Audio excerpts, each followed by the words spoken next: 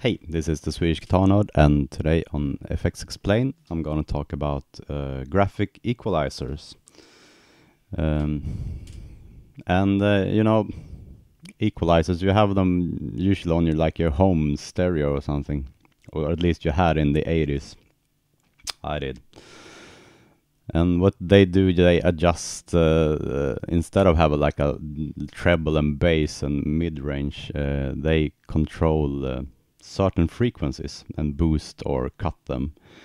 And uh, this is a effect pedal that's very commonly used, and uh, you can actually do a lot of things with it.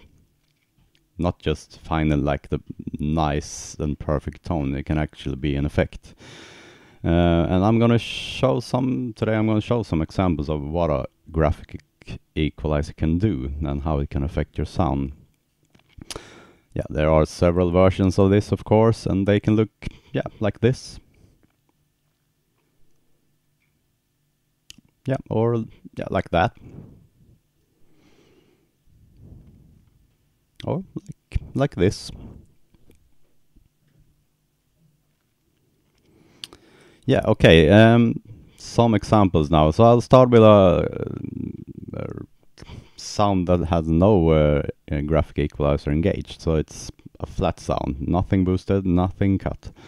Uh, here is my regular sound.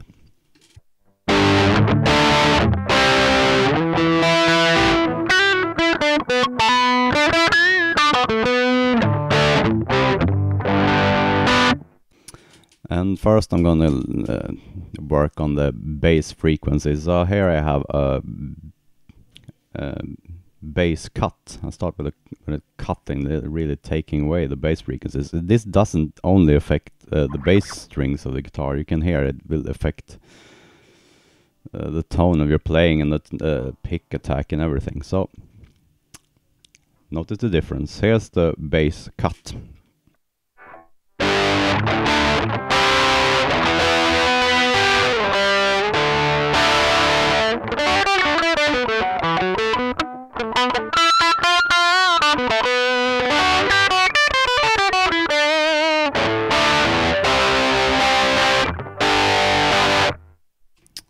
And from the opposite, uh, boosted um, bass. And yeah, really nice sound. Here it comes.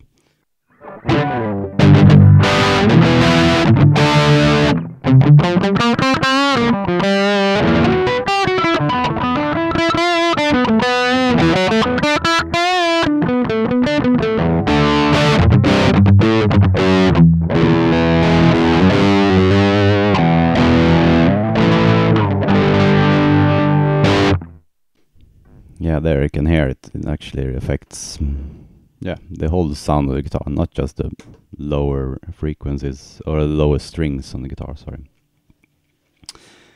Okay, let's go to the mid range. Uh, I've, um, as I did before, I've cut it. Uh, something they call scoop or scooped sound, very popular in like 80s thrash metal. Um, what you'll hear mid frequencies are where the guitar shines. That's where uh, the real um, the emphasis of an electric guitar sound is. So when you take that away, it basically kills everything. So here it is uh, with a mid cut. Okay, lowered mid.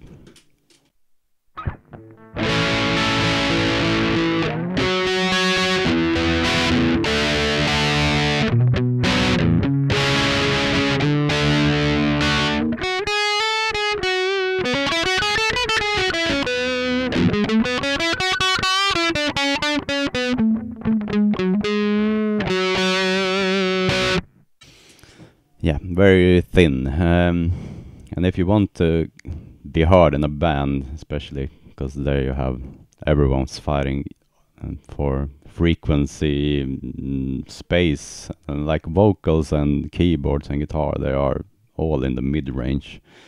So, you, and you want to be heard most, of course, you're a guitarist.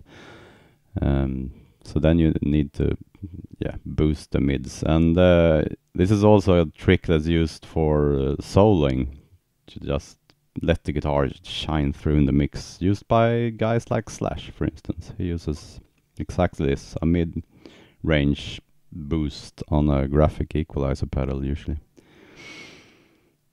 Okay, here it is, a mid boost, a higher pushed mid-range.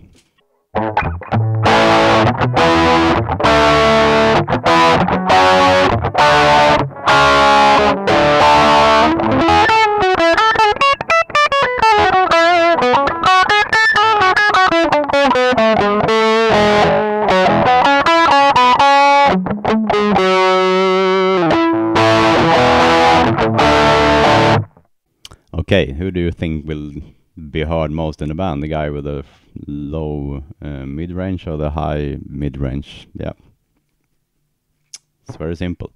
Okay, finally for high frequencies, um, here we have a high cut where you basically taken all the high frequencies away.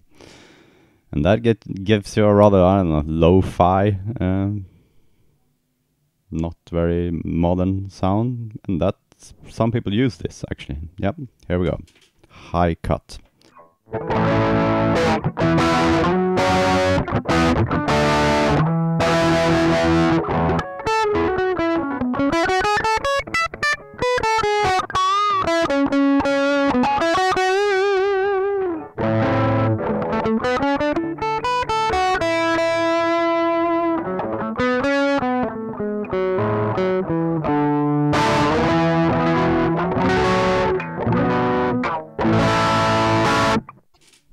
then finally uh, mid oh sorry high boost where you boosted the high uh, frequencies. A rather harsh sound. Here it comes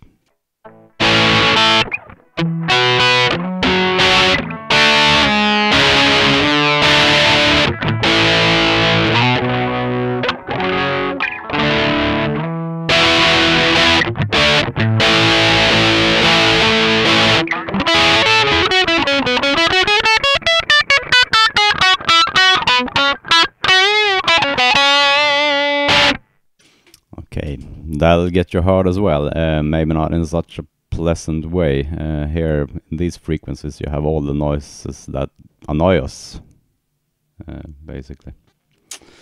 Okay, and this has been a Swedish Guitar Nerd showing you what you can do with a graphic equalizer pedal. Of course, there are billions of other variations where you just push like the higher mid-range. You have all these different knobs. Or just exper experiment. It can make your own very unique sound with. Yeah, I hope you found this useful. This has been the Swedish Guitar Nerd, and I'll see you soon. Bye.